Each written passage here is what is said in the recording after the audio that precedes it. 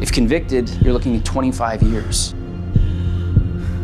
The truth is on my side. And you think that means something? One mistake, one ill chosen word, and you're going to prison.